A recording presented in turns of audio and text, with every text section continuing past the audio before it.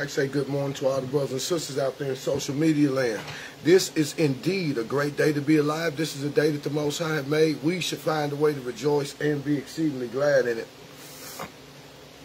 Greetings to all of the brothers and sisters, no matter what walk of life you come from, no matter what religious construct that you are a part of, be it you're a Christian, be it you're a Hebrew Israelite, be it you're Islamic man, we ain't going to drive these things home uh, enough that uh, righteousness will never be made manifest through religion.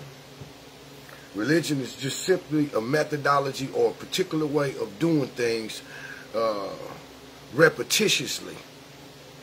So when I when I when I do something over and over and over and over and over and over and over again, according to the traditions of men, according to how we've been raised, then I become religious in that. And religion can't be confined to what we come to know as a religious construct. You can be religious taking your trash out. You can religiously uh, have a hellish attitude. Any, anything that you do, because what a religion is, is a precept that or a tradition that had been passed down from one generation to the next, whereby people begin to govern their lives. Shouts out to you, King Matthew Menard, and to all the other brothers and sisters out there. Peace and blessings. Peace and blessings.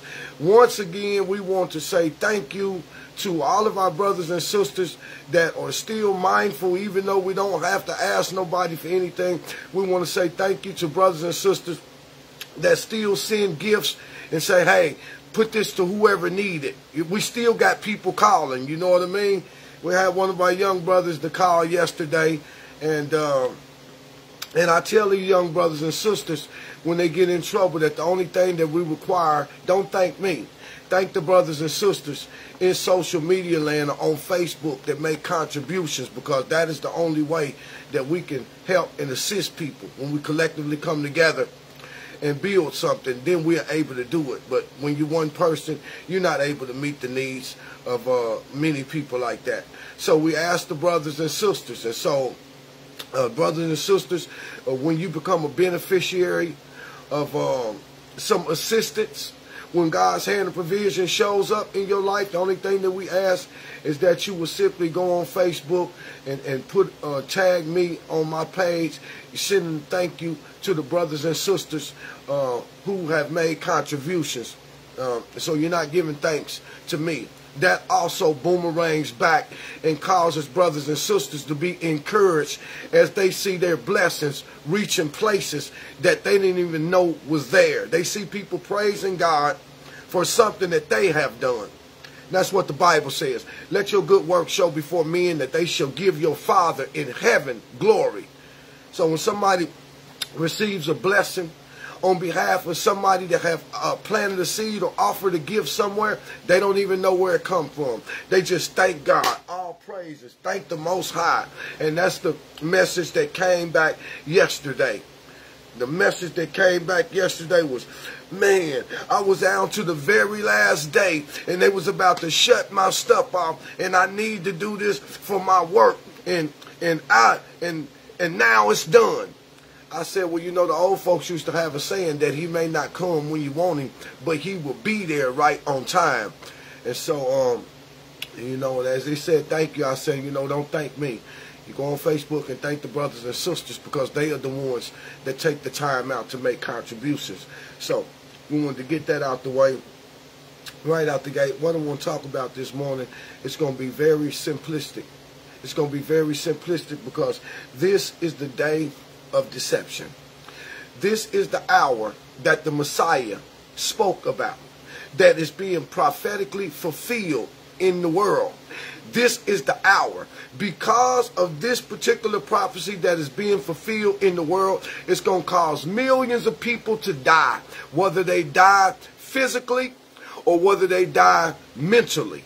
Either way it go, this is the hour so we want to look at a simplistic message so brothers and sisters can understand how to avoid some of these pitfalls.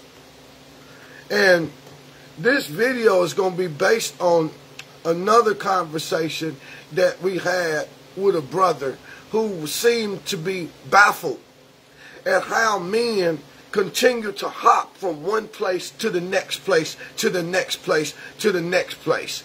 They'll hop one place. You know, first they'll hop. Oh, I'm a deacon. Next, I'm a hop. I'm associate minister. Oh, I'm a pastor. Oh, I'm apostle now. Oh, I'm a bishop now. Oh, I'm a oh, I'm going into Hebrew Israelite. So now I'm a hop from being all that in Christianity to I'm gonna be a Kohen and, and I'm gonna be a Moreh. I'm a this is what the young brother was asking. And I, you know, I don't pull no punches on nobody. Anybody can come on these videos if they think that they got something to oppose. But I said it's like that because what you're dealing with is you are dealing with charlatans. You're not dealing with men that's genuinely seeking to serve the will of the Messiah. Brothers and sisters, you better be careful. You got to understand these things because God don't want us following men. He want us following him by way of his spirit. And when men start keeping these things to themselves, they are moving into places of manipulation on people. You ain't nobody's overseer. How you gonna oversee another man? Even in our uh, even in our Islamic brothers, see, our Islamic brothers don't use all of these different titles, but they use one title, like the Honorable Elijah Muhammad, the Honorable Louis Farrakhan, the Honorable. They used Honorable, but can a can a man be honorable? That's sinful. Can a man be honorable in the midst of his sin? Well, I understand what people mean, but these things put people, they separate men, they divide them, and they put them in a category that is separated from the commonwealth of the people. That the Most High don't operate like that. The Most High don't operate that. Let me tell you why. Using personal experience, I remember when I was in church, and they wanted me to be on the deacon board. Well, I declined. I denied that first off. But you know, after a couple of years went by, and then they were persuasive. Of, well, you know, if the brothers wanted, you know what I'm saying, I think it's an honor, you ought to go on. And, and so I went on and did it. I got on the deacon board. Next thing you know, everybody Deacon Milligan, Deacon Milligan. I used to tell my sisters, you know, don't be calling me no Deacon Milligan. I say, you know, and, and they would be excited because they see their brother moving into places what people think are prominent places to be in. Positions of, of uh, hierarchical positions of authority.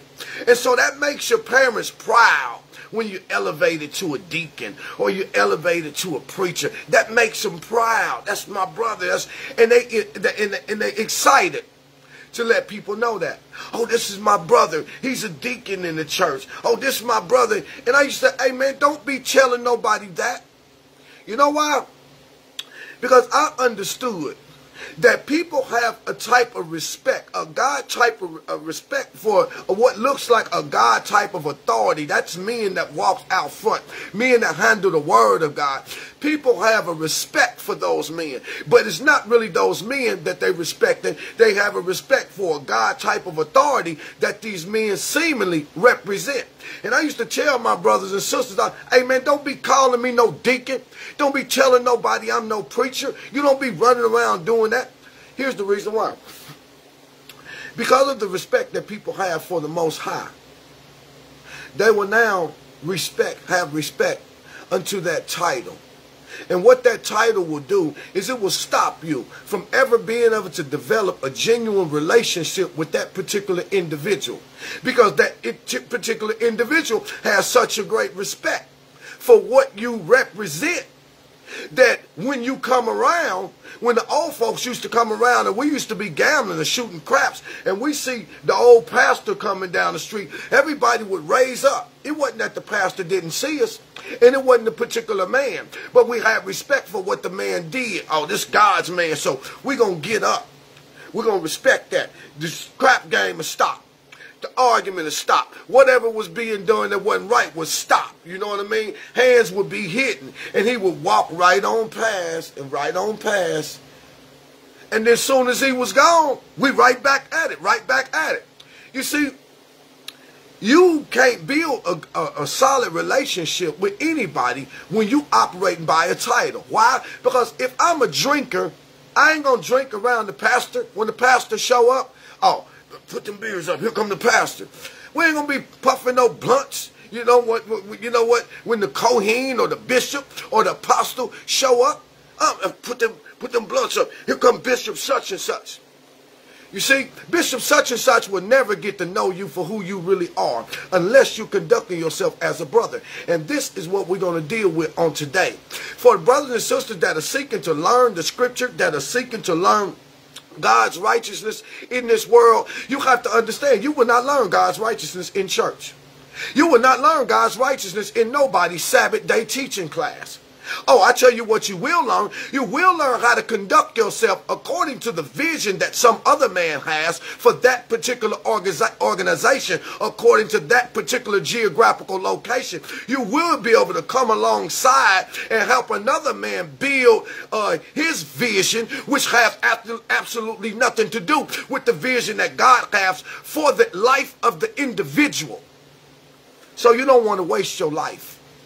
And you don't want to waste your time. No preachers used to tell people things like, oh, you need a covering. You need a cover. How you going to cover me when you can't cover yourself? If you, if you think you can cover me, who's covering you?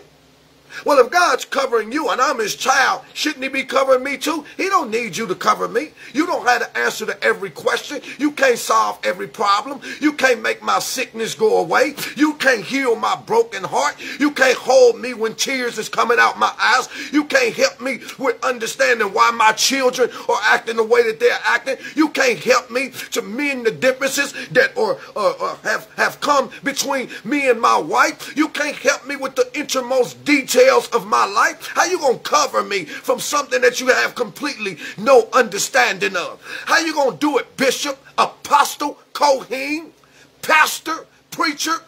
How you going to do it, Mr. Honorable? What can you, how can you cover me? And brothers and sisters, you better understand these things before you start thrusting your trust in men who will lead you away from God to further their own vision. That's what we told the young king. And I told him straight out, I don't apologize for what I say. I know what I say come by way of the Spirit. It can be backed up in the Scripture. It will be backed up in the Scripture. They're all charlatans who have rejected the word of the Messiah. And if you hanging around somebody and they running around calling themselves by these things, oh, pray, oh, bless you, shepherd, you under a charlatan.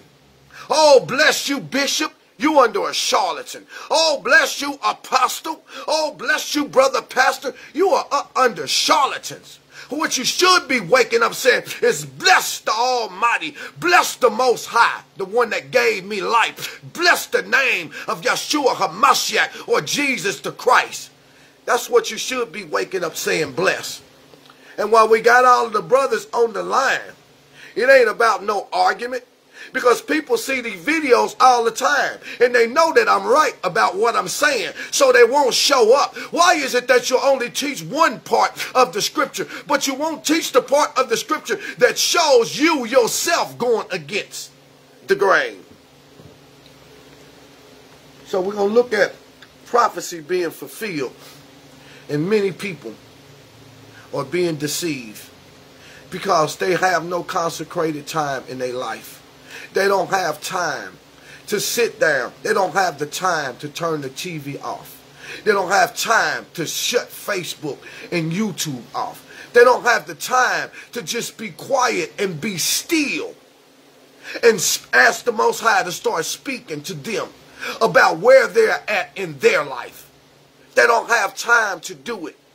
But they have all the time in the world and they'll make time for all this external, superficial stuff when it comes to going to church on Sunday, when it comes to going to Sabbath day teaching, when it comes to going to feast days, when it comes going to going to the Islamic mass. But whenever you get through, when you come out of those places, your life have not changed not one moment. None of those things can change the life. Only conviction that comes from the Spirit of the Most High and empowerment that follows the conviction changes a person's life.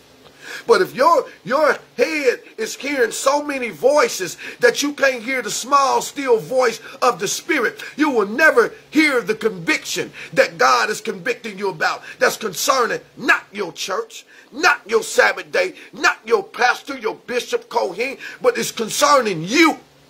Conviction comes to deal with the individual about where the individual is at in their life. And if you got so many voices going on, so you can't never hear the conviction of the small, still voice of the Spirit that's coming to deal with you as an individual, you will never receive the empowerment to climb over the hurdles that you need to overcome in your life. So let's go to the scripture.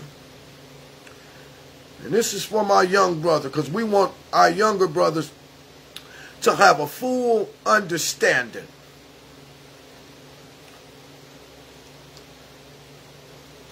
And your understanding don't come from men. Your understanding gonna come from the one that you say that you put your trust in. And I want one person, if you can come over here and tell me. Now you got you got a, a whole lot of people out here, and we about to cover some of them. Matthew chapter 24. This is the prophecy. Let me get this fan. Y'all ready to go? Y'all ready to check out run and put a seven up in there?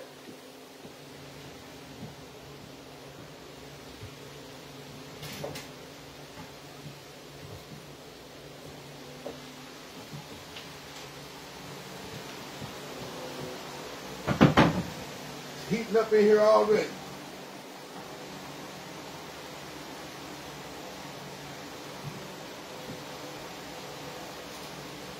Okay. We see y'all ready to go this morning. All praises, honor, and glory to the Most High Heavenly Father. For all my brothers and sisters out there that's moving, we moving. We moving. When we start pulling away from men, we start leaning to the scripture. We see our big brother start showing us what the scripture is. You understand? I don't need my big brother no more. I got the scripture. I'm learning how to stand on my own two feet. I ain't no longer sitting down, lame at the gate of the temple called beautiful, shaking a rusty cup of some man's leadership. Now my brother done come and showing me how to operate with the scripture. Now my ankle bones done receive strict. I'm up. Now I'm ready to leap when I see the Most High's will start operating in my personal life. I'm no longer concerned about what they're doing in the organization. I see my own personal life flourishing. I see myself uh, having an impact on my neighbors, on the people at my job, on my wife. She's looking at me different now. On my children, they can see it's all of the things that dealing with me as an individual. Now I can see the Most High blessing me. When I was in church, I kept on having to beg for somebody's support beg for somebody's prayers. At Sabbath day teaching, I was always running around begging for somebody's understanding of some deep thing that didn't have no impact on my life whatsoever. But all praises, all honor, all glory be to the Most High, Heavenly Father, that raises up the life of the individual so that his light can now be a beacon of light in this dark, dim world. Okay, let's go. Matthew chapter 24. And Jesus went out. And Jesus went out. I am the good shepherd. If he is the good shepherd, then that means all others are not good. That's a line of distinction. He separated himself from everybody else. And Jesus, the good shepherd, went out and departed from the temple. And his disciples came to him for to show him the buildings of the temple. And Jesus went out. Now Jesus is in the place of religiosity. Now Jesus went out of the Sabbath day teaching. Now Jesus went out of the church. Now Jesus went out of the mosque. Then here come the disciples to show him the buildings of the temple. They showed them how beautiful it was, how much had been invested. Let me ask you a question. How can any building be made beautiful? Except the people that's a part of it have been manipulated to take and fund their money to make it that way. Let's look at what the Messiah said. and Jesus said unto them, You see, see ye not all these things? Verily I say unto you, there shall not be one stone left upon another that shall not be thrown down. So I don't care nothing about your church. I don't care nothing about your mosque. I don't care nothing about your Sabbath day teaching, your gathering spot for feast days. I care absolutely nothing about that. And I'll tell you the truth. The time is coming to where there won't be one stone left upon another. Because when you ain't got no buildings to go through and you ain't got no people overseeing and you ain't got no people standing out in front, every man going to be brought to a personal accountability for himself. And this is the lesson that the Messiah is trying to get the disciples to understand. It's because this is the bondage that the people have been up under. They had to bring everything to the temple. Everything had to pass through a man's hand. And the Messiah is telling them, man, I'm about to destroy all of this mess. And as he sat upon the Mount of Olives, the disciples came to him privately saying, Well, tell us, Jesus, when shall these things be? And what shall be the sign? How are we going to know when these things are happening? That's what they want to know. Okay? We can't even picture this place, beautiful place. The place where we come to bring your precious animals to get sacrificed to atone for our sin. The place where we come to get judged by other sinful men. He said the place that the demons, the demons that had helped Solomon put together that was so beautiful and so royal and so regal that even the poor people would marvel at it as they walk in. He said, well, it's going to be destroyed. Tell us when are these things going to happen so we can at least know and we can have some type of sense of how we're going to prepare for them. Same thing he's speaking to the disciples. He's speaking to you, brothers and sisters, right now. And many brothers and sisters, you want to know. You need to know. You need to know what's going to be the sign of the destruction of all of these religious constructs and the destruction of every title that man can put on himself. What's going to be the sign? How are we going to know when we're close to these things happening? And Jesus answered and said unto them, Take heed. You better pay attention, brothers and sisters. Take heed that no man deceives you. Take heed he didn't say, take heed that no devil deceives you. He said, take heed that no man deceives you. For many shall come in my name, saying, I am Christ. The word Christ means anointed. It also means uh, uh, chosen one. So when you start talking about many coming in the name of Christ, you're talking about many people rising up in the world declaring that they are the correct way of living.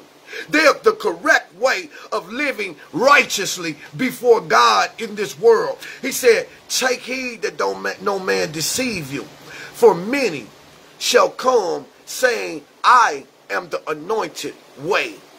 I am the chosen way and they shall deceive many. Let me show you something.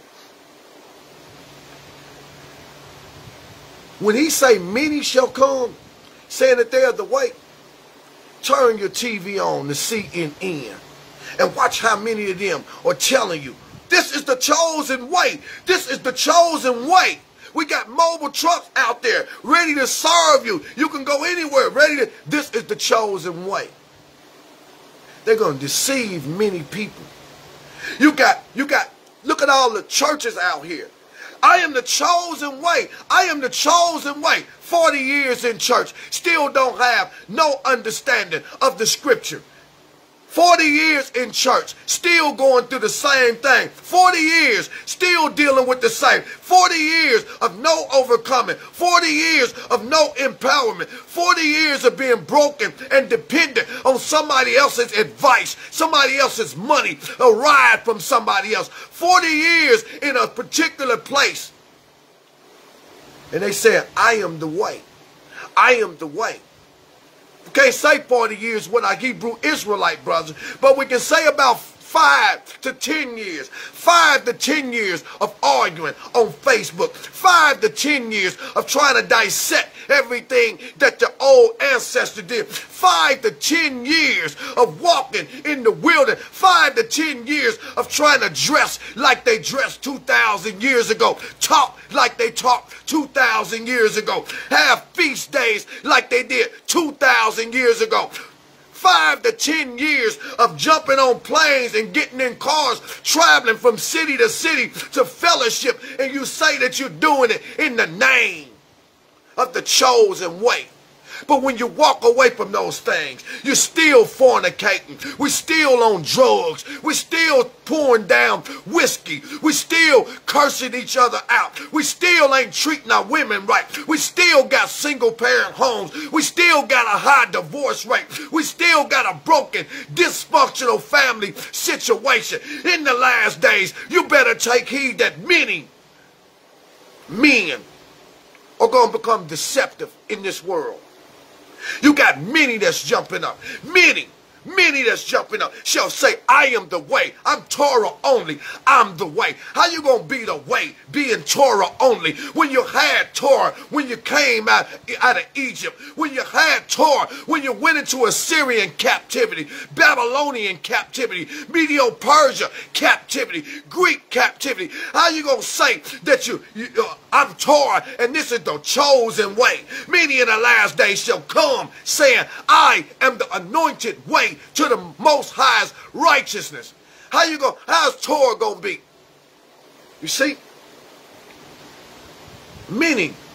There are many different levels because the Messiah said Take heed that don't no man deceive you. For in the last days there shall be many. Your deception ain't just coming from Christianity. Deception is coming from 4,400 different world religions in this world that all declare that they are the way. The Buddhists declare he is the way. The Indian declare he is the way. Uh, atheists declare they are the way. You got all these different world views and every last one of them declare that they are the chosen way. And you better take heed to yourself. You got to know for yourself.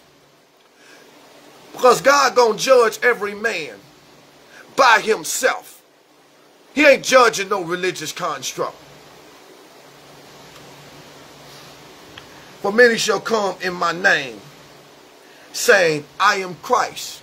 That's why they coming in his name because he was the chosen one. He was the anointed one. He was the one that was prophesied about. So what he's saying is that many people are going to suppress many things that I have said. And they are going to say many things that I never told them. They are going to come in my name. They're going to do as though they're going to steal who I am. They're going to do what Maccabee said, third chapter, 48 verse. The heathen sought to paint the likenesses of their images. He said, many gonna come in my name. So come in somebody's name is to use a form of uh, supersessionism where you supersede the individual and now you put yourself in a place that you have no business being. Your pastor ain't the Messiah. Your bishop ain't the Messiah. Your Kohen or your Moreh, your so-called apostle, they are not the Messiah. Many shall come and put their face on top of me and they'll come in my name and declare that what they telling you is the chosen way. But you better beware. Because when God start judging, he going to judge you. he going to judge your wife. he to judge your children. he going to judge your house. He'll judge your job situation. He'll judge everything in your personal life. He not coming to judge the whole organization.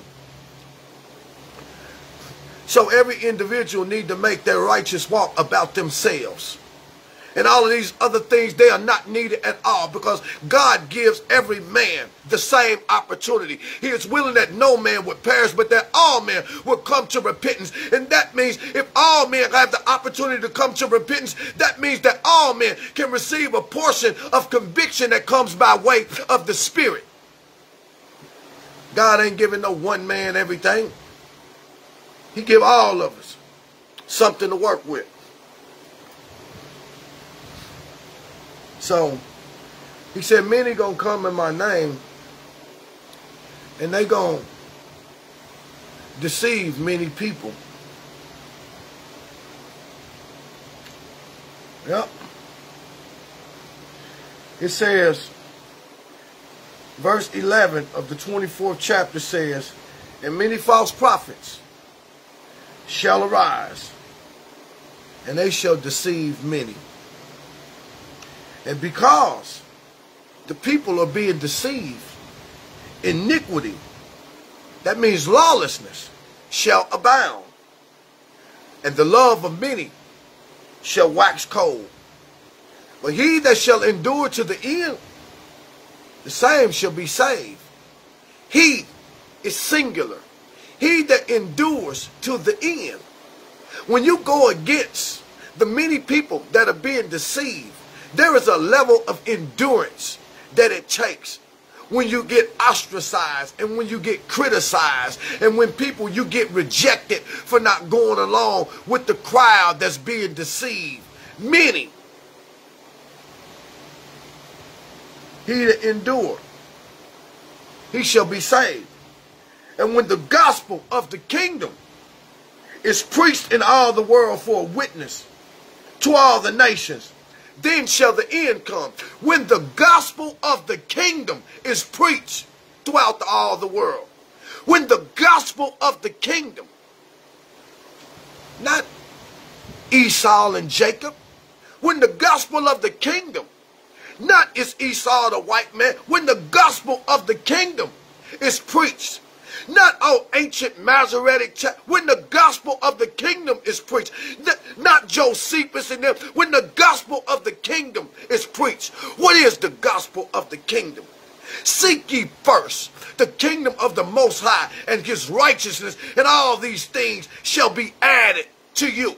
But seek the kingdom chiefly in yourself because that's where the Most High is dealing with. And when the gospel of the kingdom, when we make brothers and understand that they have a personal accountability to the Most High because He has a specific will for their life, we are preaching the gospel of the kingdom to make every man tap inside of the spirit that is inside of him that will lead him or drive him into God's will for his life. When the gospel of the kingdom is preached, you can go out into the middle of nowhere and preach the gospel of the kingdom and make a man understand that you are the temple of the Most High. His spirit is housed in you. His whole kingdom, everything that he desires for you to be is inside of you. If you can hear the small, still voice of the spirit, and when one hears the small, still voice of the spirit, their life begins to flourish. Because the gospel concerning the kingdom has been preached. What kingdom y'all talking about? We're going to take the kingdom. How? How we going to get the kingdom? When we going to take the kingdom? Now. When we going to take the kingdom? Now. But how we going to do it? By Shema shop, Yahweh shop. You know what? It, listen. If you can't pay the rent on a studio apartment. What make you think somebody about to put you in a $500,000 house? What sense does that make? What kingdom are you talking about taking when we ain't learned how to take the kingdom that's dealing with our own individual life? When I can't govern the kingdom of my house, when I can't govern the kingdom of my finance, be able to put gas in my car, have insurance and tax, pay lights, gas, and water, and be able to pay rent with no problem. That's my kingdom. If I can't govern myself or take that particular kingdom, what make you think that I'm going to take a kingdom that the streets are made out of gold?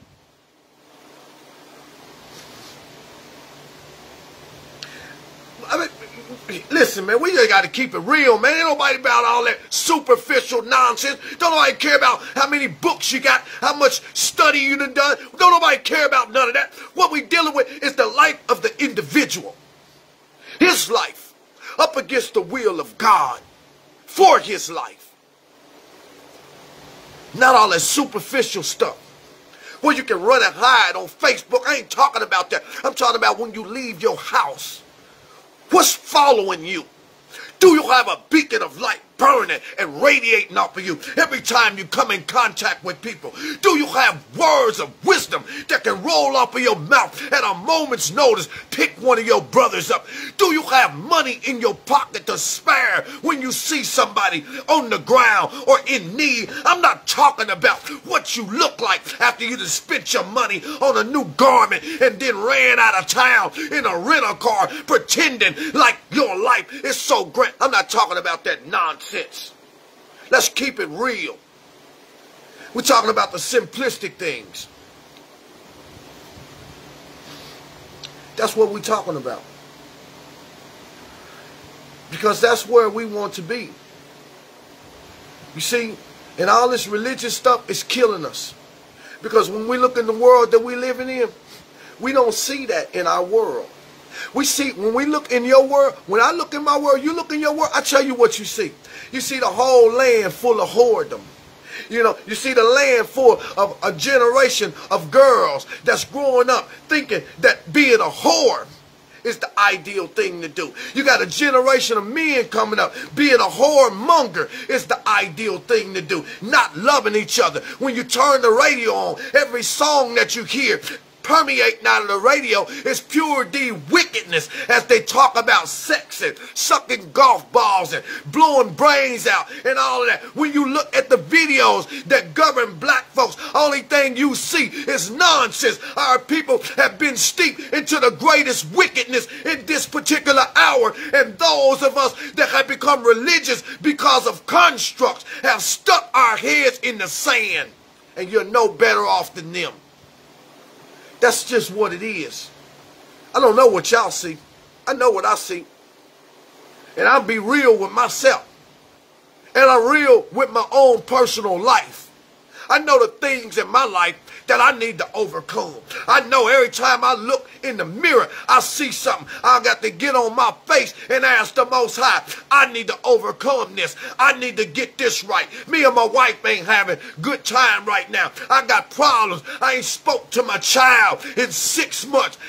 Listen, life is real. Life is real. God want to deal with us as individuals. But all this organizational stuff is choking the life out of all of us. Talking about going through something where you need to move with the most high. I can't speak for other people. I can't do it. Since my children been born, I ain't never missed a birthday. I ain't never missed a holiday. I ain't never missed a school event, a pumpkin patch, a, a, a sixth grade day. I ain't never missed nothing. A college moment. I ain't never missed nothing. A band concert. Been there every step of the way. All the way till they grown and still there. You talk about pain? Imagine being that kind of daddy. And because you being a daddy, you end up and talk to your child in six months. Say, what, what, what do you do? What do you do besides being a parent? What do you do with your wife? What do you do with your wife? When you say one thing and try to get her to understand, but by the time what you say and get to her, it's something completely different. And before you know it, all hell done broke loose. How do you deal with those things? You see? That's what we're talking about. Real life. Real life. Why do I keep letting one man in after the other man and then he didn't stay and the only thing every time one of them leave they leave me with a package that they didn't want. Let's keep it real. Let's keep it real. You can be Hebrew Israelite, you can be Christian, you can be all that. But one thing you won't be able to deny is four babies' daddies. You won't be able to deny that every time a man comes, he leave a package that he don't want. You won't be able to deny that. Neither will a brother be able to deny that. I don't care how many books you got. You won't be able to deny the fact that you don't want to pay child support for the kid that you have fathered. See, that's why I'll be wanting to get off Facebook. That's why I ain't in nobody's pulpit. That's why I don't care nothing about nobody's speech days, nobody's Sabbath day teaching. Because when you start dealing with people with truth, they don't want to hear that. Nah, they only want to be pretty. So the Messiah said, many people going to be deceived because they listening to the wrong people. You see? They listening to the wrong people. The Messiah wants us to listen to the voice of the Spirit that he sent into the earth. That means, and it's real simple, this is the kingdom being preached to the people. This is why the world's still going. This message have not been preached to the people until the message becomes personal down to the very individual. The world ain't hearing the gospel of the kingdom. So, many people going to be deceived. Now, let me show you. Let's go to now remember, he said many people. T.L. Monroe, did you get that tag I tagged you in yesterday? Dealing with the bank stuff? Yeah, see, see, many people gonna be deceived on so many different levels. You know, it's about to be a whole lot of people that's been putting their trust in in uh in uh in investment firms and, and banks and all those things, those people about to lose all of their money. It's people that have been putting their money uh, since they start working over the years, the fire department, the police department, all those things. They've been investing their money as a portion of their money that comes out of their check from the time they start working that's designed to go to their retirement when they retire. The people is coming about to uh, stop working only to find out that they don't have no retirement money anymore, that they the government, the spent up or used the retirement money. These people's money that was eh, see, it ain't nothing that nobody can do. This is the this is why the book said, take heed that don't no man deceive you. You got to be able to have some consecrated time and you got to be able to be quiet and be able to be still so that the spirit can show you the things that's coming into this world so that you'll know how to deal with them. God warned Noah Uh, in a dream of things not yet seen. And Noah moved with fear and built the ark to save his house. Noah being warned of God in a dream. Noah being warned of God by way of the Spirit that showed him things to come. He didn't take that lightly. He moved with fear and began to build the ark to save his house. And only way you we got to have the same thing that Noah had. You see? But Noah had consecrated quiet time because he was in a place of hiding because of all the things that was going on with the fallen angels. He was in a place of hiding. And when you hiding, that means that you have withdrew yourself from people. And anytime you withdraw yourself from people, you enter into a quiet place. And anytime you enter into a quiet place, it's just you and the Most High Spirit. And that is where the small, still voice begin to speak to us about the things that are pertaining to our lives. Not everybody else's. Now, we still along the lines of my brother that asked the question, and I told him that these title wearing people out here, they are charlatans and they are a major part of the deception. They are like a blockade that stands between God and his people. I, I you know, I'm not concerned about what nobody think. I, don't care how you feel about your pastor. It's still, I still mean the same thing. He stand in your way as a blockade. How you gonna get what God want for you when he's standing in the middle? You think he can tell you what God's will is for your life? Your so-called bishop, how you gonna get what God got for you when he's standing in the way? Your bishop can't even, you know, he got the same marital problems that you got. How he going? And you know what they say? They, they say they doing the work of God. Well, I'm gonna prove you wrong. I'm gonna show you. I'm gonna show you that you're not doing the work of God. You're doing the work of a charlatan. Your self gratification and self satisfying your own self. You ain't doing no work of God. Fooling yourself. And you know how you're fooling yourself is because you won't heed God's word.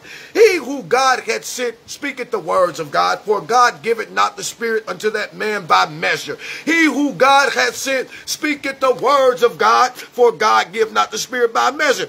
He who God hath sent will show you what God's word got to say as the Spirit leads him from place to place in the scripture. And John 8 47 says, He who is of God hears God's word. How many? So let's see.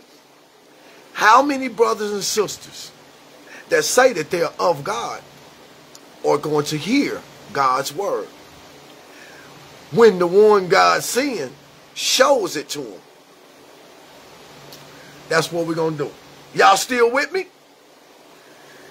Okay, my younger brothers and sisters, you all understand. You got to learn how to walk on your own feet. You got to have your ankle bones strengthened. You got to be able to walk on your own. Matthew chapter 23. Then Jesus spoke to the multitude and to his disciples. Now, Jesus is speaking to the multitude. That's all the people that's following him. And he's speaking to his disciples. That's the men that he is training. Let's see what he's let's see what he said to them. Now, if if we got a disciple on this live video, put a seven up in there. What a disciple is, is a disciple is anybody that is desiring to discipline themselves to follow in the footsteps or the instruction of the Christ. If you classify yourself as one that is fallen or one that desires to follow the instruction of Jesus or Yeshua, put a seven up in there. I want to see if it's anybody on the line and see who we working with. Because this is pertaining directly to you. And I'll wait. See if we got some disciples on the line. Oh yeah, we got some disciples on the line. We got some disciples on the line. Oh yeah, oh yeah, oh yeah, oh yeah, oh yeah, oh yeah. Then you understand it's going to be your responsibility to preach the kingdom. And we just told you, because most people don't even know what it means to preach the kingdom. Let me show you what it means.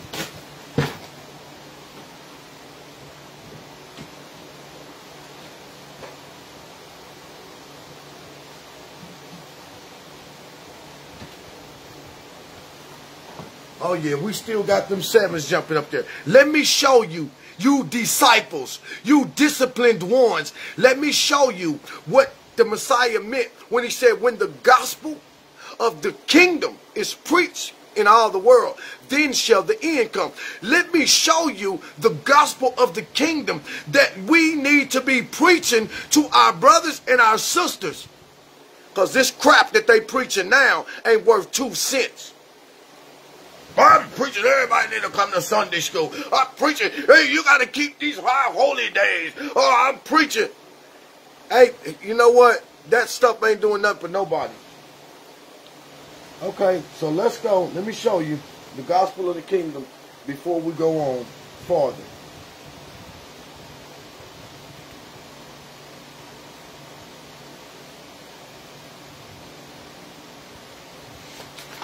Let me show you.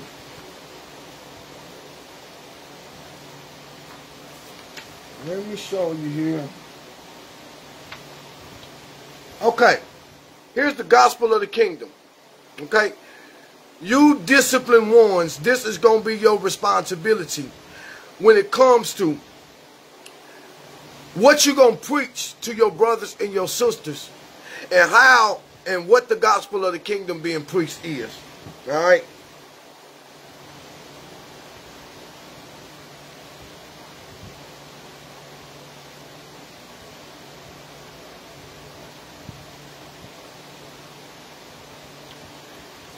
Gospel of the kingdom. In everything that has life is God's law written. You'll find God's law in the grass and in the trees and in the rivers and in the mountains and in the birds of heaven and in the fish of the sea. But seek God's law chiefly in yourself. For I tell you truly that all things that have life are closer to God than the scripture which is without life. So God made life in all things that live that they might by the everlasting word teach the laws of the true God to man. For God wrote not his laws in pages of books, but in your heart and in your spirit. That's where God's kingdom is. In your heart and in your spirit. And when your brothers and sisters can understand, hey, if God woke you up this morning, then God's righteous laws of life are operating in you. The only thing you need to do is be able to have a comprehension of it. And that only thing that takes is quiet time. Because he said, seek these things, seek the kingdom in yourself. That's what the books say Seek it in yourself. Because once you dead, you ain't seeking no kingdom in no dead vessel. But as long as you alive, God's laws of life are operating. God's laws of life. Not no superficial man-made laws that got people doing all this superficial stuff, traditional stuff. You see, we get we so preoccupied with all this traditional stuff that we ain't even thinking about where God's righteous laws really are. Seek ye first the kingdom of the Most High and his righteousness. But see, his laws are in your heart and in your spirit.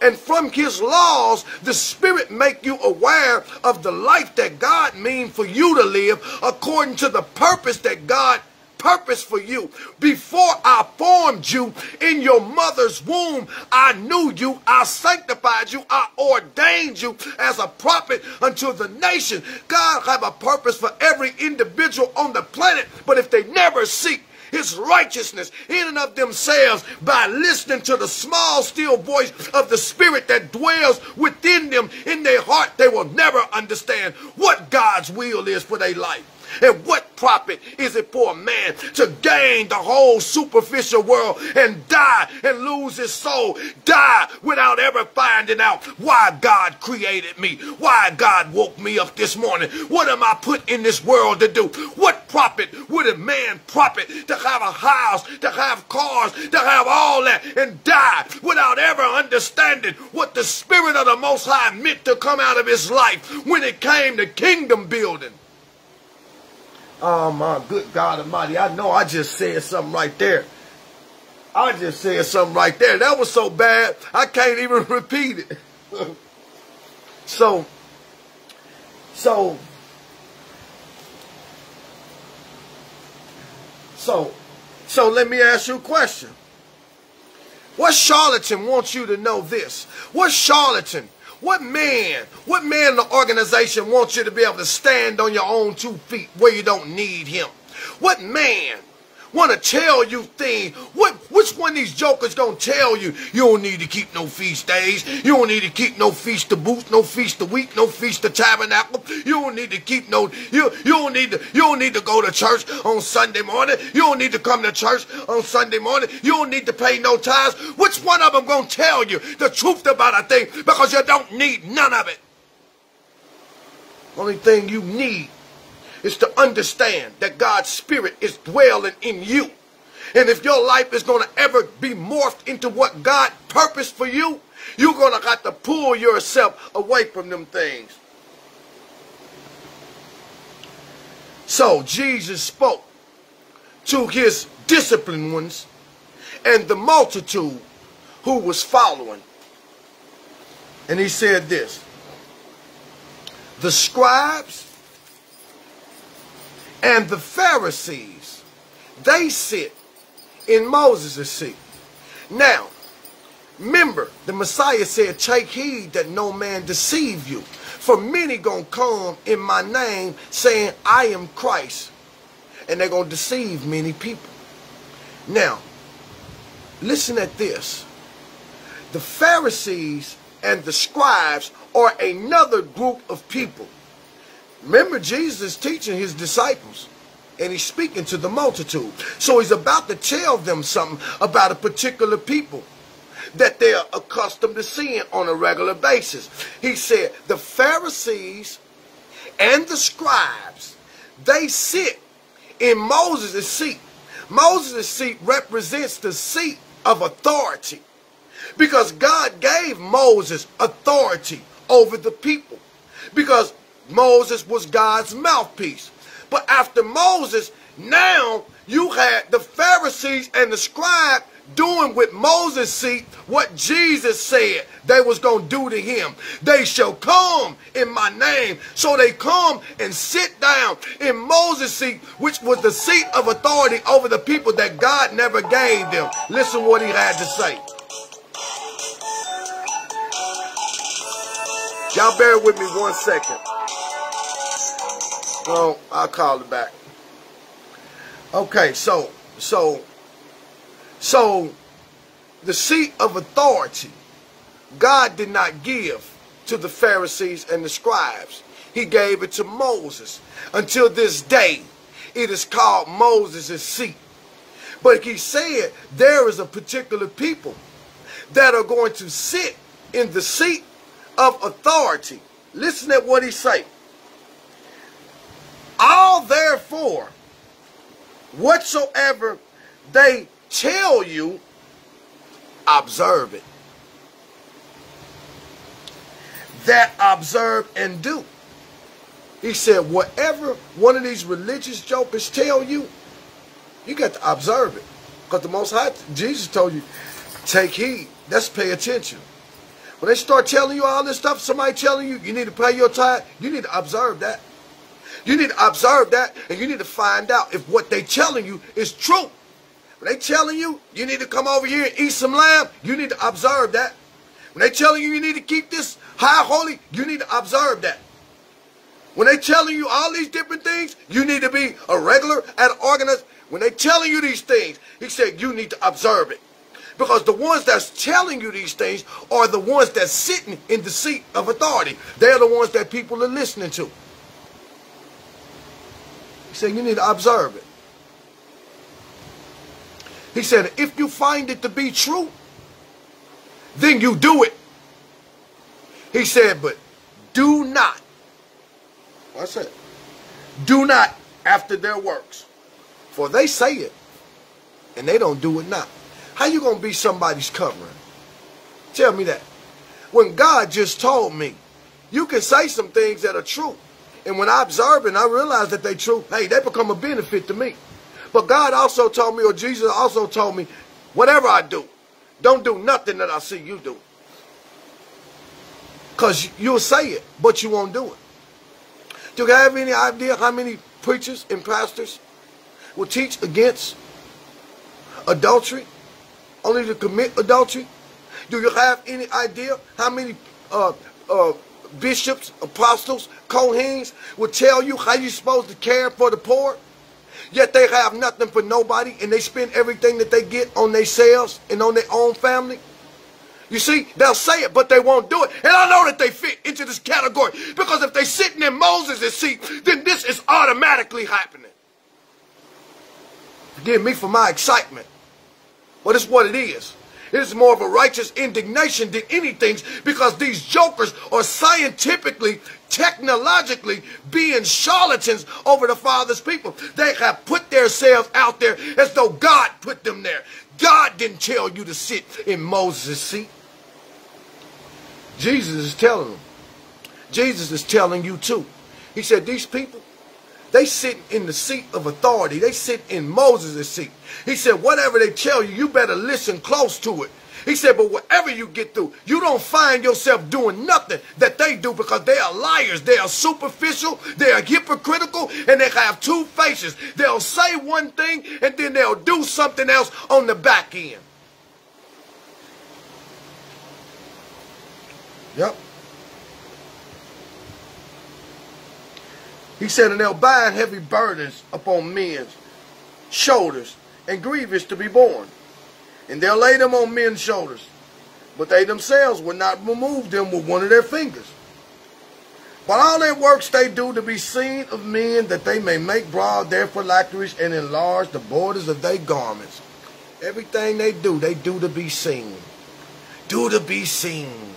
Everywhere I go, I got to have the camera. Everywhere I'm at, I got to have the camera. Every feast day I'm at, I got to have the camera. Everything that's going on, every organization that's going on, I got to have the camera. I got to be seen. I'm in New York. I'm in Chicago. I'm in Ecuador. I'm in El Salvador. I'm in Africa. I'm in Israel. Everything that I do, it got to be seen by other people. I'm at this church church. I'm at this church. I'm in Alabama. I'm in Louisiana. I'm in Atlanta. I'm at this. I'm at that. I'm at this. He said, all that they do, they do to be seen before other people.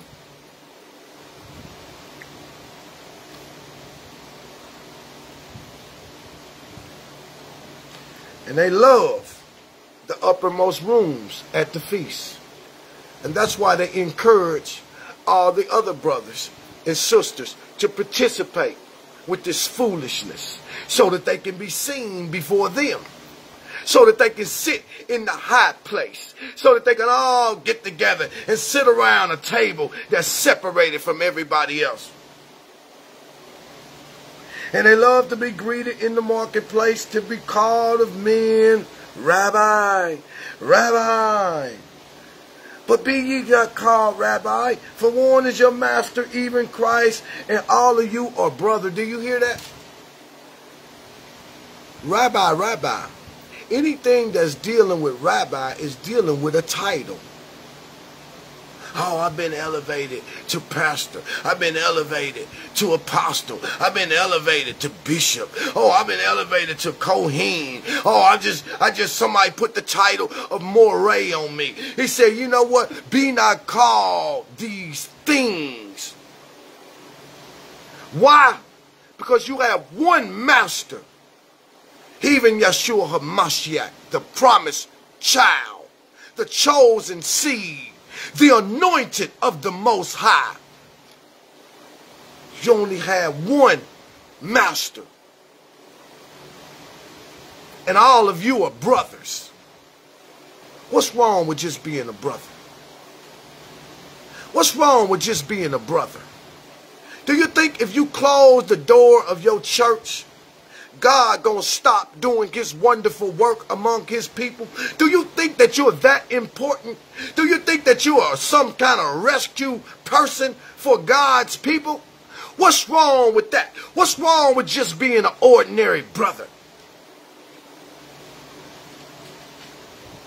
Simple. Brothers and sisters, you better take heed.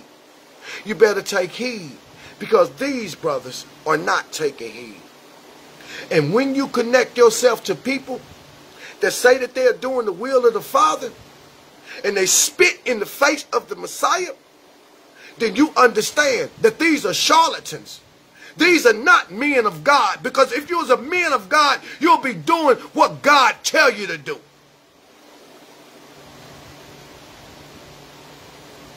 They love the uppermost rooms at the feast.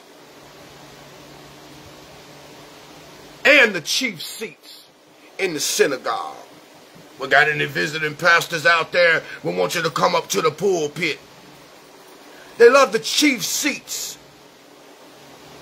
in the synagogue, in your Sabbath class, wherever it is. You got chief seats always because you always got some joker having a desire to sit in Moses' seat, which is the seat of authority over people. This what this what the Messiah said. This is what the Messiah said. This is the instruction that he is teaching his disciplined ones.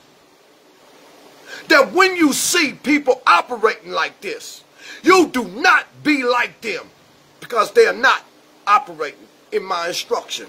This is what the Messiah is telling the multitude, the people that desire to follow him. You desire to follow the Messiah. You don't follow him by going to nobody's church, going to nobody's organization, joining nobody's camp. You follow him by going into your closet and find some consecrated and some still time. That's how you find them. He says, so they love being uh, the uppermost rooms at the feast and the chief seats in the synagogue and greetings in the marketplace called Rabbi Rabbi. Hey, I, what I need, I need some brothers to come on. I need somebody to come on here and tell me that Jesus is not telling brothers not to wear. Uh, tell me that he's not telling brothers not to wear titles. And I need somebody to think. Everybody that think, everybody that believe the brothers that wear titles know that this scripture is in the Bible. Put a seven up here. If you believe that everybody that wear titles knows this particular passage of scripture is in the Bible, put a seven up there.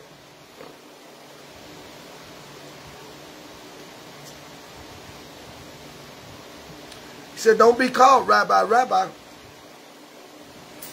And the reason why, he said, you only got one master. That's me. If you only got one master, which is me, you think you can stand on the same plateau as me? What's wrong with you? He said, you are brothers. And call no man your father upon the earth. For one is your father in heaven. Now, we don't never try to call no names or nothing, but we live life. Because life gives us examples that we can make the word clear. Now, we got some brothers out there. There's been more than one over the years. More than one over the years. We got some that call themselves pastors, shepherds, uh, bishops, all these things, apostles. This particular passage of scripture right here. And call no man your father upon earth, for one is your father in heaven. Now, we got some brothers that's walking around talking about this is my father in the ministry. Oh, this is my father in the ministry. Oh, this is my son in the ministry. This is my father. Let me ask you a question. And these are prominent people. Do you think they don't know that this scripture is in the Bible? And if they know that the scriptures in the Bible telling them not to do this, what makes you think, why do you think that they do it? You see, Jesus is making it manifest because he told you to take heed that no man deceive you. Many shall come in my name, saying that they represent me. But they shall be doing the opposite. They shall not even do what I instructed them to do. And when you see these things in here and you see men conducting themselves like that, you know to get away from them. You can't become a part of the deception that they putting on everybody else.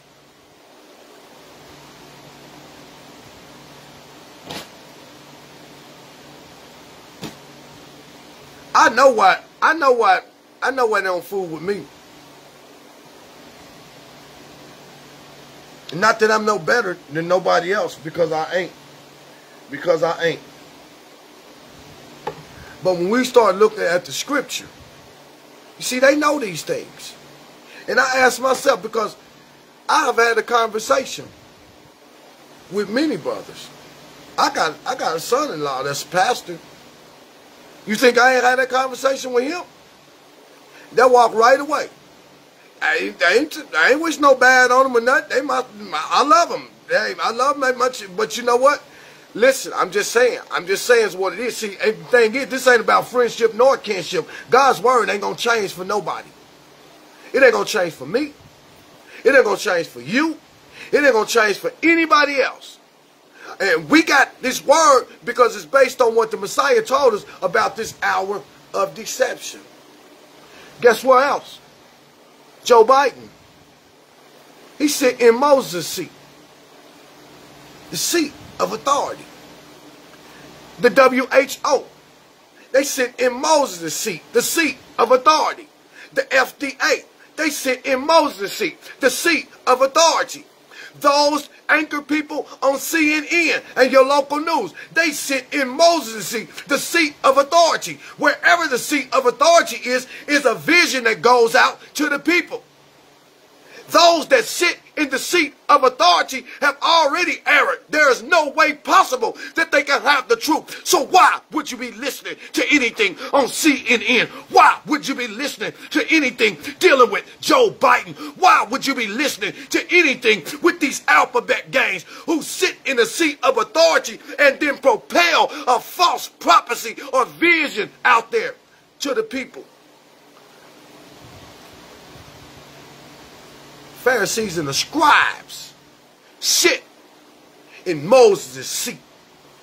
In the last days, many false prophets shall arise. Pharisees and scribes are the religious leaders and those that so-called interpret the law. A scribe was one that wielded the pen and interpret the law. But Jeremiah 8, chapter 8, eh, chapter 8, verse 8 said, How can you say that you are wise, pastor?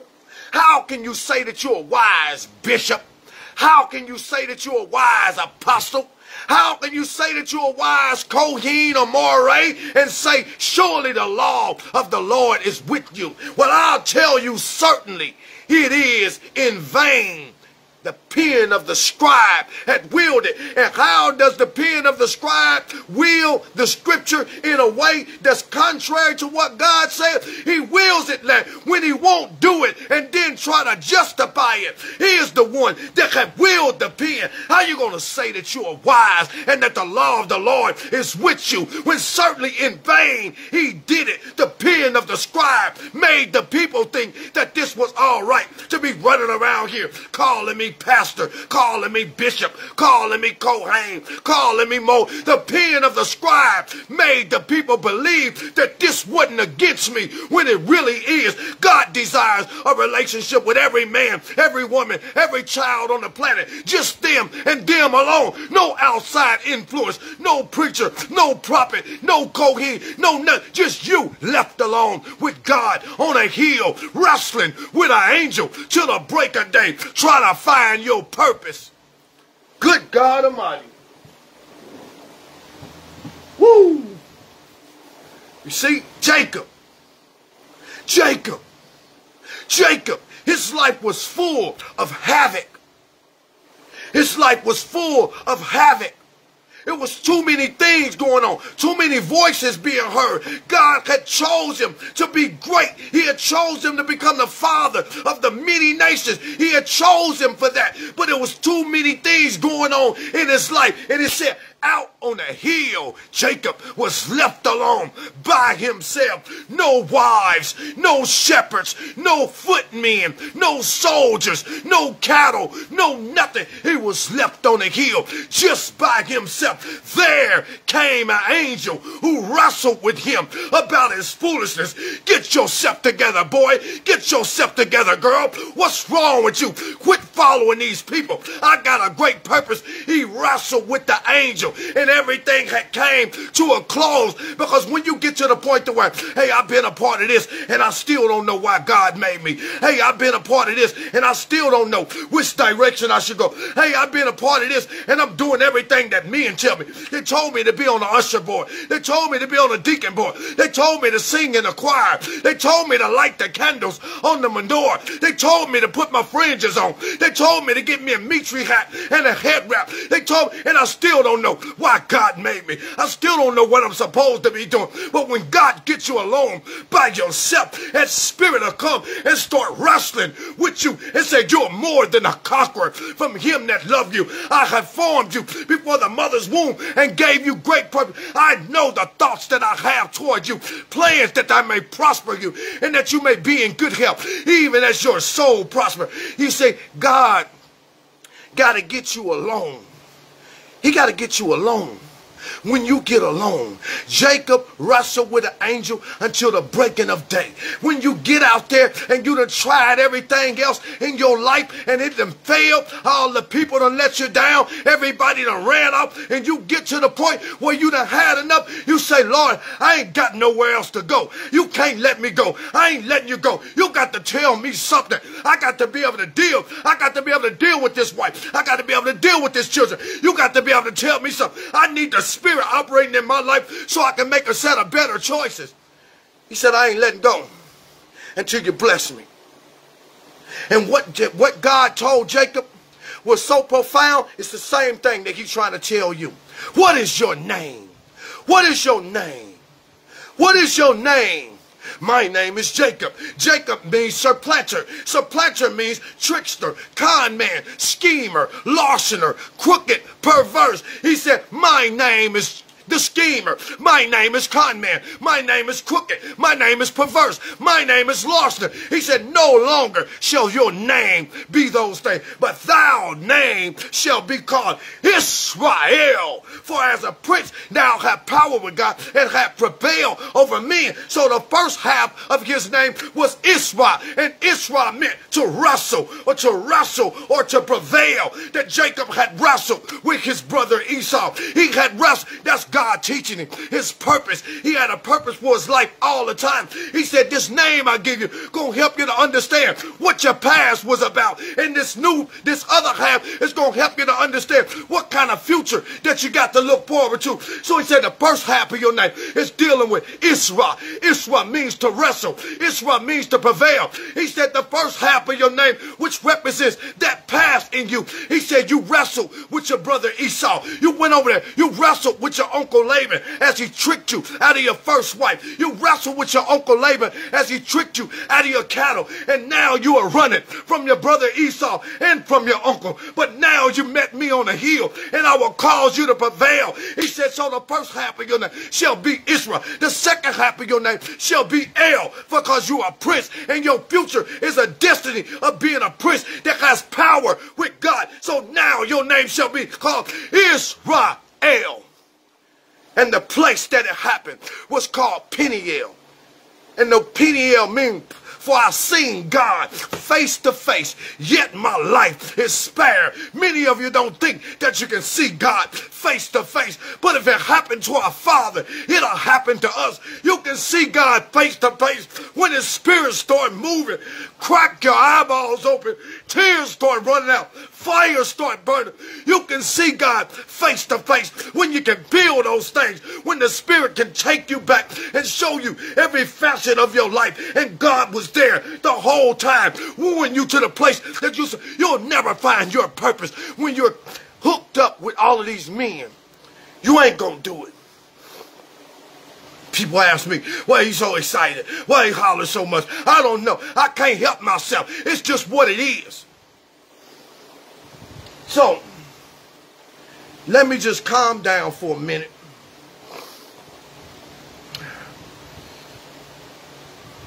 Y'all get that? When God can get you alone, you can hear. And it don't take long. That's one of the reasons why a lot of people don't want to be alone. We don't want to be alone. We call being alone bored. It's not that it's bored.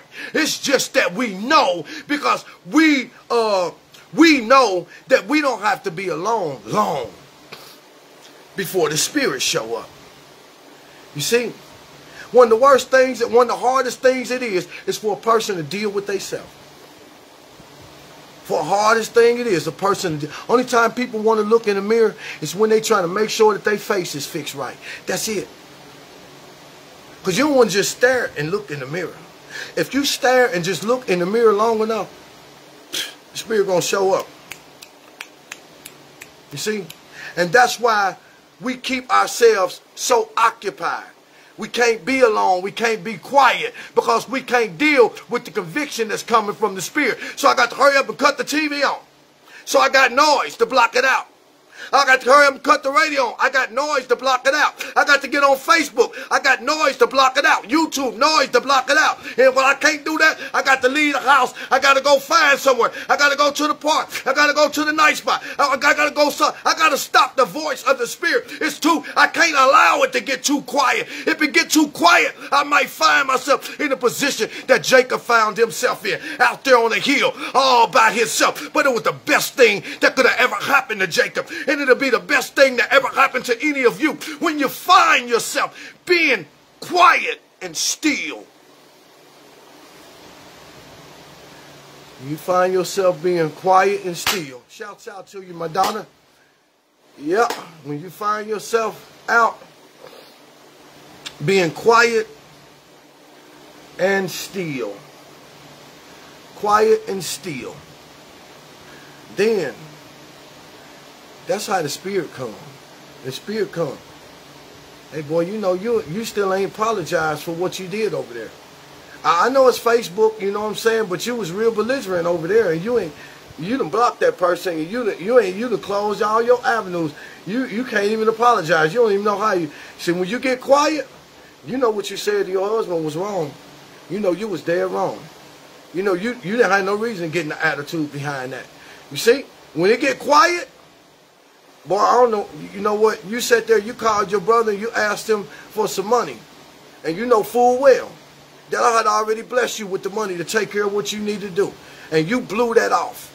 You see, when it get quiet, you the one messed it up. And now you're making it like I'm not blessing you. And I'm sitting here blessing you one end after other. Take care of the things that you need to take care of. And you steadily blowing off everything that I give you. Then you go to your brother and your sister and you make it look like you're just doing bad. You say, I see you.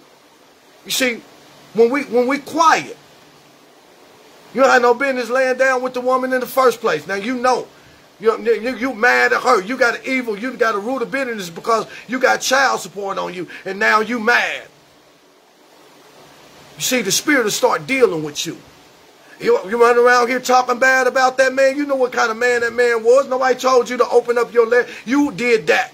You did that. You and you know you ain't got no business fornicating no way. So anything that comes out of it, it's your fault. And you don't, and you want to make it like it's somebody else. You see, the spirit will deal with you in ways. The spirit will deal with you. It'll block out all that nonsense. You can go to church and that nonsense can be covered up. Oh, we'll pray for you. Oh, we'll pray for you. But God saying, I don't care what kind of prayer you send up. It ain't gonna get answered because she's a liar in my presence. He's a liar in my presence. You see, when you get quiet, God will deal with you. The Spirit will deal with you. The Spirit will deal with you. But it ain't nothing more beautiful. It ain't nothing more beautiful than you hearing the conviction of the Spirit. And then eye waters start coming out. And you start confessing. Yes, I was wrong, Father. Yes, I'm sorry. Yes, I made a mistake. Yes, I know I was wrong. Oh, yes, I'm going to do better. Oh, yes, I'm going to do this. Oh, yes, I'm going to do that. When you can get eye waters start coming out because of your foolishness. Oh, yes, I'm going to do. Did you see the, the scripture being fulfilled? Blessed are they that mourn. Oh, I'm sorry sorry. Oh, I'm having a hard time. Oh, I know I shouldn't have done it. Oh, I know I should do better. Oh, I know I said I wasn't going to do it, only to find myself right back there. Oh, I won't up, Lord. Oh, I don't want to be raggedy. Oh, I don't want to be wretched. I don't want to be filthy no more. I want to be somebody that you can be proud of. Oh, help me, Lord. Oh, create in me a clean heart. Renew a right spirit in me. Oh, let me become whatever you want me to be. Oh, teach me how to listen, how to hear your voice. Give me the power and the strength to be able to do do what you're sending me to do. He said, when you get there, blessed are they that mourn, for they shall be comforted. God will bless and bless the one who's crying out, who can look at himself face to face in his eyes and declare what manner of a man that he is. That's the most high. But you got to be able to get alone in order for that to happen because you don't want nobody. You see, you probably can't be like me. I don't care. I don't care what nobody think about me. I know where I've been. I done been in a gutter. I done been as low as you can possibly go. I done been so low that you couldn't, it was almost like digging a ditch to build a house on. I done been just that low. I don't care what nobody think about me no more. Dimitri Milligan is a dead man and died long time ago. When we get on this face Facebook and start dealing with this word. You dealing with a new man. You dealing with a man that only cares about his brother and sister hearing the right thing, getting taught the right thing, being exposed to the right scripture. You might not be like me. You might not be able to get on social media. You might not be able to cry in front of people. That's another reason why you got to get along. Because the tears won't come out of your eyes while other people are looking, while other people are watching. The words won't come out of your mouth while you got other ears listening. You can't tell everybody everything. Some people take what they hear and then use it as a weapon against you. That's why you got to have consecrated time. You got to be able to get alone and get in your car. Don't tell me that you're seeking to serve the Most High when you won't do it the way that He said do it. I'm going to read one more scripture. And then I'm going to end the video. Give me one second. Ah, right.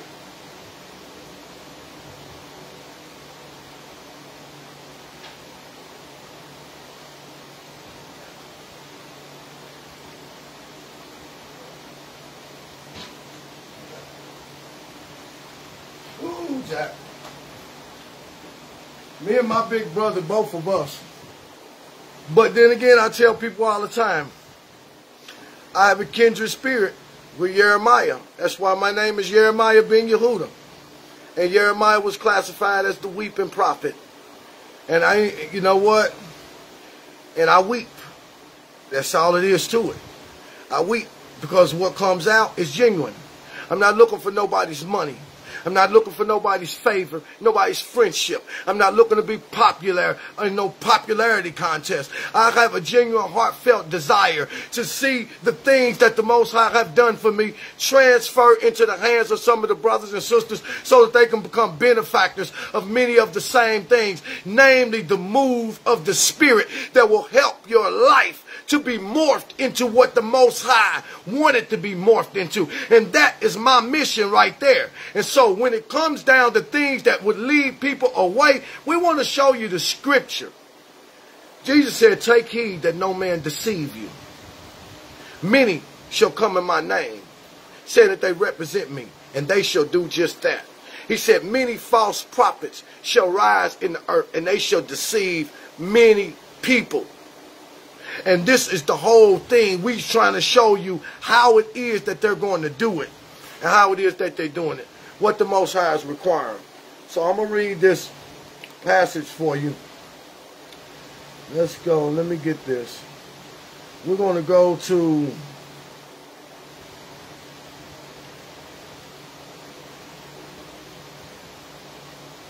the Gospel of the Holy Twelve.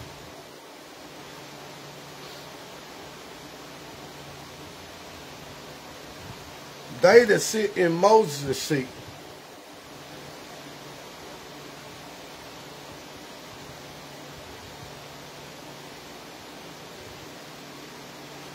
See, they that sit in Moses' seat, the seat of authority, are ones that, so to say, have influence over, over God's people. And I expect them, they get angry at me all the time. You know, just a few months ago, some of the brothers that sit in Moses' seat, they got real angry at me did a stream of videos trying to make it look like I was saying something that I wasn't saying. Just really drug me through the mud, you know what I mean? But that's what's going to happen. That's what happened. Any, it happened It happened to the prophets. I had to tell the brothers, I got King Rashard on the line. He ready to jump on the plane somewhere. I said, boy, go sit down somewhere. I don't need you to defend me or protect me. Most High going to protect his own. People supposed to do what they do so that they can manifest whatever God wants to be manifested before people's eyes. You see?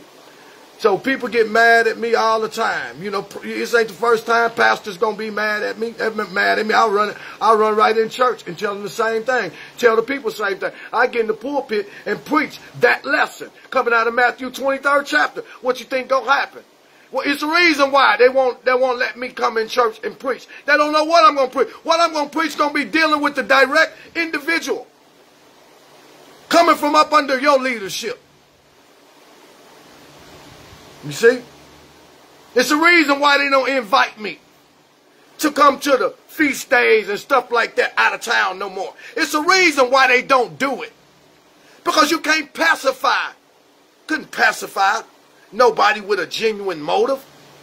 You can't buy nobody off.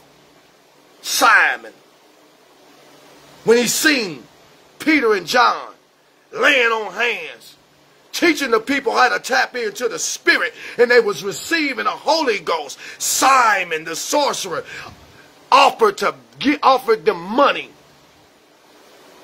Let me buy the gift. Offered them money. What do you need? Your money perish with you.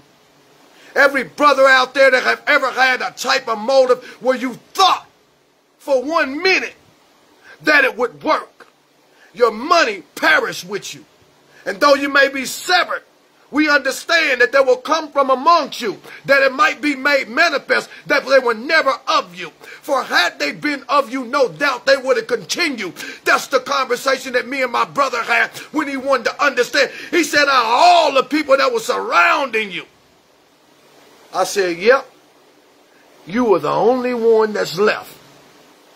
I said, but I don't look at the people I look at what God doing. I said, you ought to feel great. I said, what a wonderful thing to know that God would send one all the way across the country just to get you because he knew the rest of them would not be around.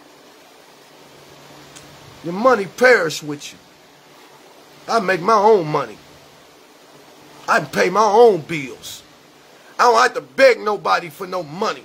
That's the beauty of it. That's the beauty of, not, of being a brother.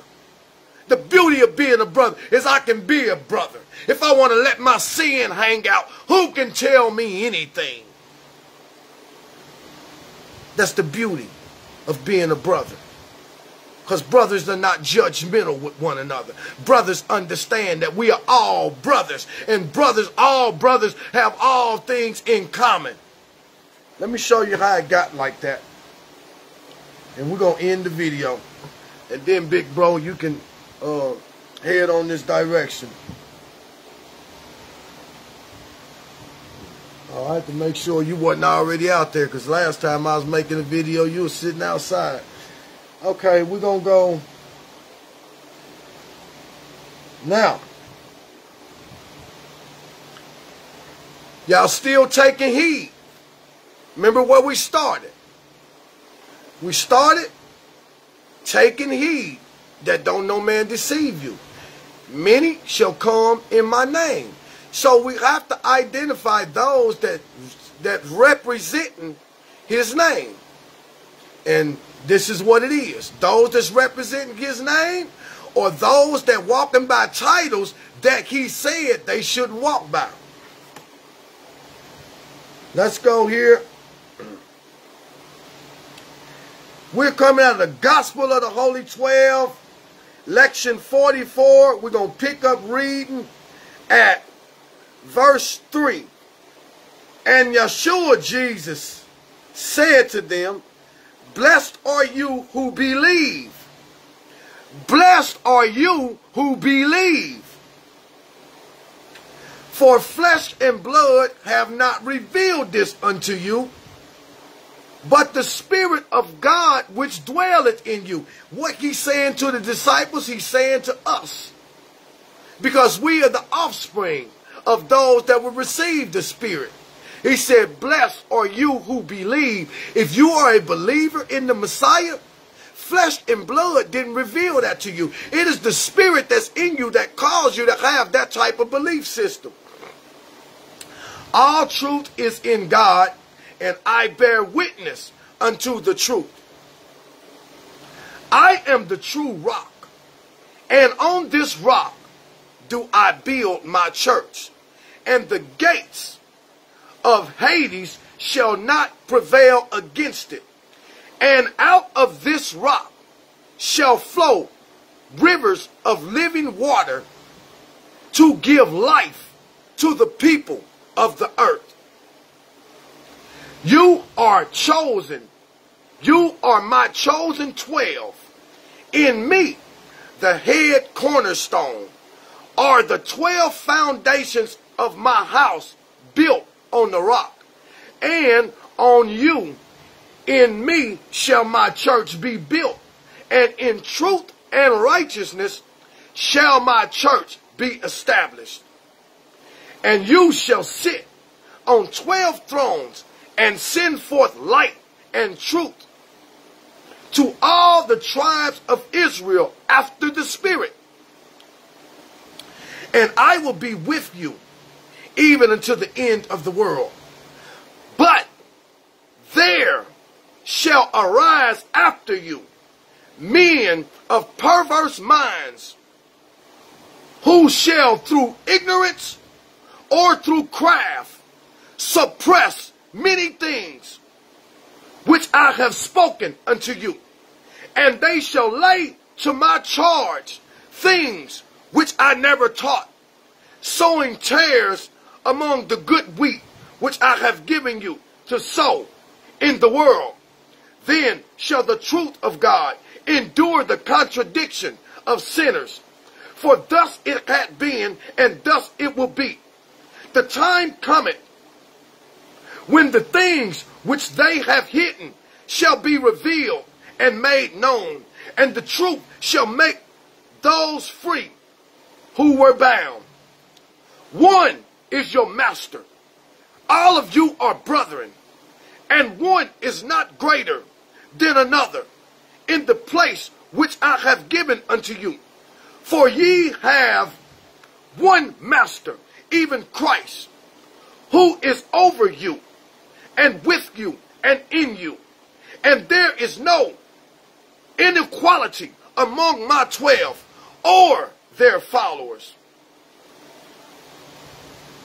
All are equally near unto me. Strive ye not therefore for the first place, for ye all are first, because ye all are the foundations, foundational stones and pillars of the church, built on the truth which is in you. And the truth and the law shall establish for all as shall be given unto you. Now, tell me, tell me, where's a place for your pastor, for your bishop, for your Kohen, for your Moreh? Where's the place for any so-called religious leader, any pharisaical, any scribe? Where's the place for them? You tell me, where's the place? Where's the place at? Where is the place at? You see the deception that's in the world now? I can read this. You can send this video to all these brothers and they're going to cut it off immediately. You know why? They're going to cut it off and say that they serving the Messiah. Let me read this again.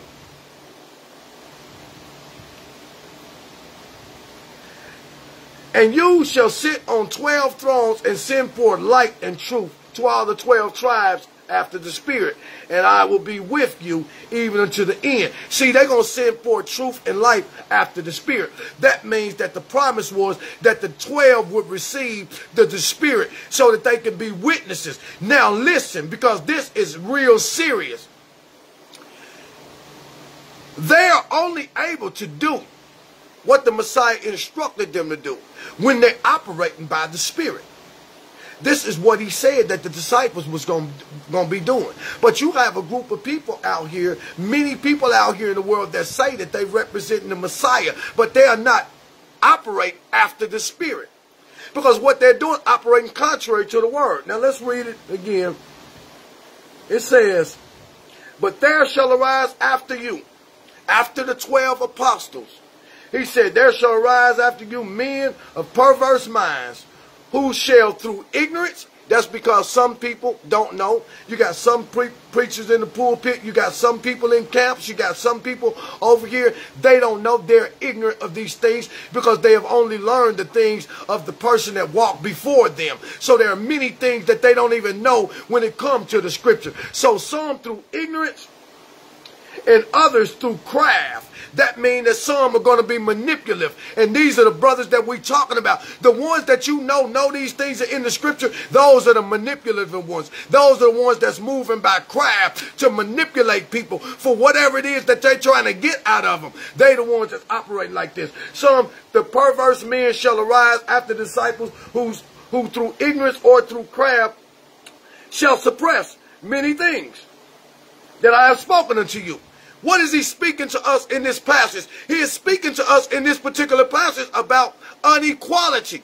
Men being separated from the commonwealth of the people to make themselves look good. Men being separated to sit in Moses' seat, the seat of authority. He said, no, that comes from the mind of perverse men who are moving by craft. They shall suppress many things that I have spoken. What he's spoken Be not called Rabbi, Rabbi, Rabbin, Rabbani. Be not called by these things because you only have one master. He said that's what he said. But but they suppressing the many things that he has said and then laying things to his charge that he never said. Oh, I'm pastor such as Jesus didn't tell you to say that. Well, I'm bishop such and such. Jesus didn't tell you to say that. Well, well you know what? I'm Kohen something. I, I, you, Jesus didn't tell you to represent him like that. You have suppressed what he told you. He told you don't do it. You have suppressed it on one end, and now you're laying something to his charge that he didn't tell you to say. And you got everybody thinking that you're some type of man or God when you're really being made manifest as a charlotte. Fill up the measure of God's wrath. Serve him a double portion. Jerusalem, Jerusalem. How often would I gathered you together, gathered you pastors, gathered you bishops, gathered you Kohen, gathered you so-called prophets as a hen gathers her chicken, but you declared, we don't want to be gathered. We don't want you to gather. He said, but you would not thou who kill and stone the prophets that I send to you to correct you from this foolishness.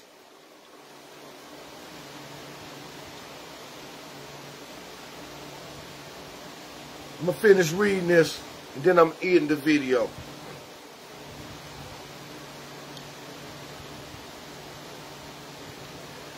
But after you, men of perverse minds, who shall through ignorance or through craft, they shall suppress many things which I have spoken unto you, and they shall lay things which I never taught, sowing tares among the good wheat, which I have given you to sow in the world. Then shall the truth of God endure the contradiction of sinners. For it had thus been, and thus it will be. But the time cometh, the time cometh when the things which have which they have hidden, they shall be revealed, and they shall be made known. And the truth shall make those free who were bound. One is your master, and all of you are brethren, and one is not greater than another in the place which I have given unto you. For ye have one master, even Christ, who is over you, who is with you, and who is in you. And there is no inequality among my twelve or their fellows. All are equally near unto me. Strive not therefore first place, for ye all are first, because you are the foundational stones and the pillars of the church built on the truth which is in me and in you. And the truth and the law shall be established for all as it shall be given unto you. Verily, when ye and your fellows agree together touching anything in my name, I am in the midst of it with you. So, so you see how the Messiah feel about that. So any brothers and sisters that don't understand that the Most High desires you. You. Not your church. Not your Sabbath day teacher. Not your pastor. Not your none of He want you. And only you.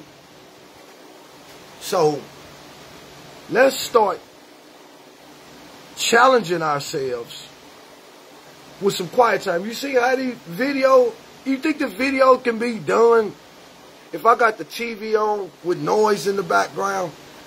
I, I wouldn't be able to hear the spirit. You see, it's the spirit that comes through this quiet time that teaches my mouth what to say. It's the spirit that gets my mind and make me know, okay, turn and go to this scripture. When I sit down, y'all don't see no notepad. You don't see no pencil. You don't see none of that. When I sit down, there is nothing.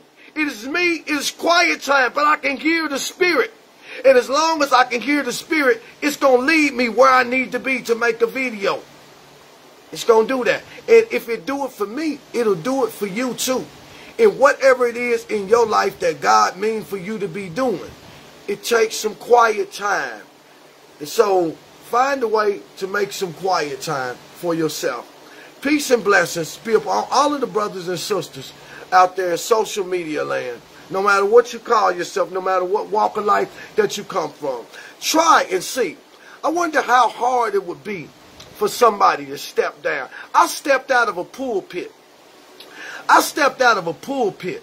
I got ordination license up there. I got license up there. I got a license for people to call me certain things. You understand what I'm saying? And I done been called everything. And I could have easily had a church somewhere because it ain't take nothing. I've been a businessman opening up businesses all my life. It was a small thing. That I, but you, I stepped out of the pulpit and when I did, I got my brothers together and I say, you know what?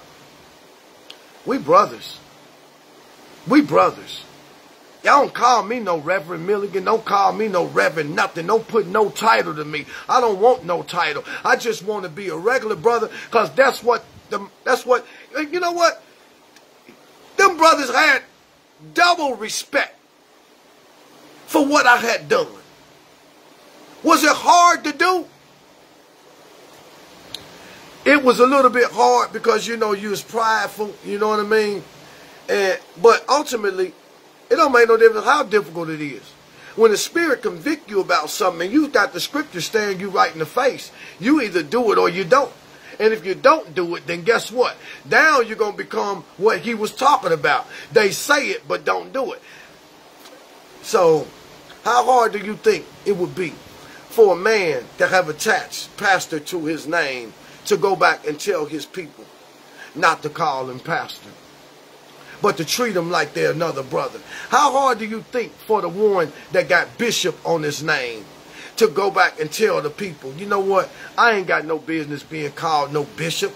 I ain't no great person like that. You know what I mean? And the bishop is, is, taught from Roman Catholicism that these are they that carry the mantle of the 12 apostles. Well, that's foolishness because all of us carry the mantle of the 12 apostles that believe.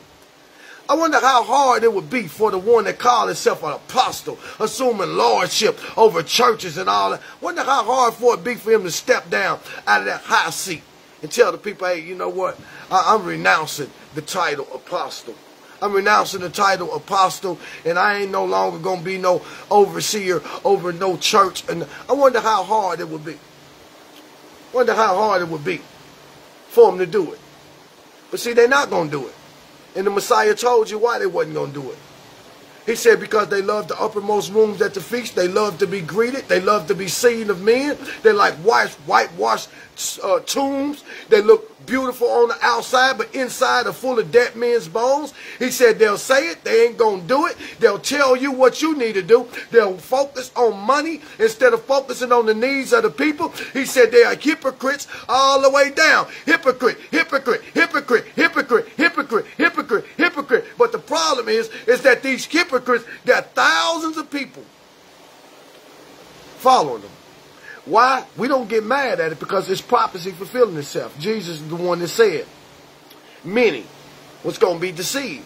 But there is a select few in the earth that have a genuine desire to follow him that will respond to his word. So he said, take heed and don't let no man deceive you. And then he shows you what the men that are deceiving people are out here doing. And when you see people out here operating like that, then you can avoid the deception. All praises, honor, glory be to the Most High Heavenly Father, His glorious Son, blessing for His Ruach HaKodesh, which is the Holy Spirit. This is indeed a great day to be alive. It is a day that the Most High have made. We shall rejoice and be glad in it.